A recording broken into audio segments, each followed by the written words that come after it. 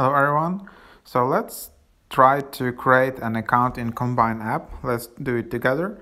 So here you have you have basically five options. You can create an account with Facebook, Twitter, Google, Apple, or just sign up with email.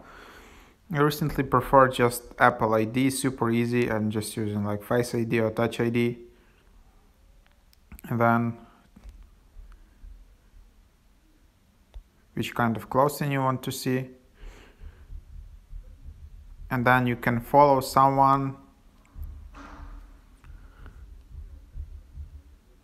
uh, you can disable notifications and then there is like a video tutorial. And that's it. Uh, uh, and that's how it works. So you're in now this is your profile. You can add your username and stuff. That's how it works. Hopefully it was helpful.